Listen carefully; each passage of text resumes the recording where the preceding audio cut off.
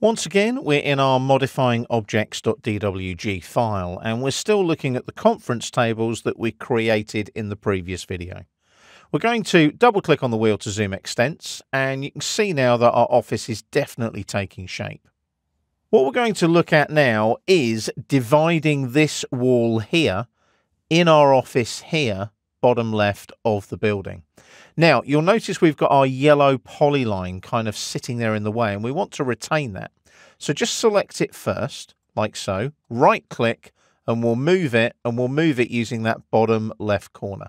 Now, the benefit we have there is that left corner tallies up with the internal corner here in this office anyway, so we can drop it back if we need it. We're going to zoom in on that office again, where we placed the conference tables previously. And what we're going to look at now is dividing this wall up using some setting out points. So we're going to go to the layers panel on the drop down here on the home tab on the ribbon. And we want the A setting out layer, which is this one here. So that needs to be the current drafting layer. We're going to go over to the utilities panel and click on the flyout and go to point style. And you'll remember that we utilized this point style previously in previous videos. Don't worry about the size or anything, just click on OK for now. And then what we're going to do, we're going to expand out the draw panel here, click on the pin to keep it open, and we're going to utilize these two here, divide and measure.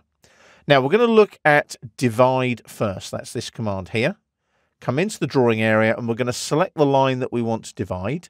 And then we're going to specify the number of segments, which I'm going to put in as five. And you'll see there now that we've got some really nice setting out points where I can now place some lines to represent new internal partition walls. So what I could do now is use make current here on the layers panel. And I'll pick one of my walls over here so I'm on the right layer. And then I literally just draw some lines and I use the node snap. Now make sure on your object snaps down here, you've got the node snap switched on. And what I can do now is click in the drawing area and there you go. There's the node snap. Click and drag utilizing my polar tracking there. Let's say we're going to go for five meters, 5,000 and enter and then enter to finish. There's the start of one partition wall. I can then place another one using the line command like so, or I could, if I wanted to, just hit escape, select that one, right click, copy selection and just go from node to node if I want to. There's the endpoint and take it down to that node there and then enter to finish. Now, what we're starting to do there is space out that office space and utilize it effectively rather than it just being a great big space. Let's take that back a few steps using undo. If I go back one, two, three, four, and then maybe one more so I lose those setting out points.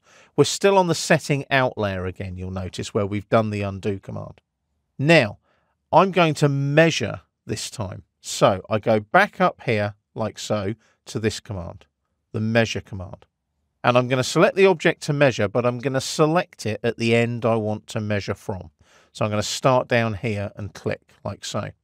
And then I'm going to specify the length of segment I want to measure up that wall, which is going to be 3,500, 3.5 meters. And can you see there, it's placed the setting out points, 3,500 there, 3,500 there, and then 3,500 there, with a remainder at the end. Now, if I'd done it at this end of the line, it would have done it the opposite way. Now, again, I can go back to my make current and pick one of the wall lines and I can draw some lines now going from the node snaps. Remember, I've done an undo, so I will need to switch the node snap back on again in my running object snaps. Click once in the drawing area, click there for the first point of my line, come out by the 3500 or 5000, whichever dimension you want to use. Enter like so, and then enter to finish. And you can see that I can start placing lines using these setting out points which are created using the measure command. Now, as you can see, it's very quick and easy to be really accurate with the divide and measure tools in AutoCAD. So what I'll do there now is I'll just place one more line and I'll utilize the node snap there, come out by 5000 again, and enter and then enter again to finish the line command. And then what I could do is bring my polyline back in as well if I want to.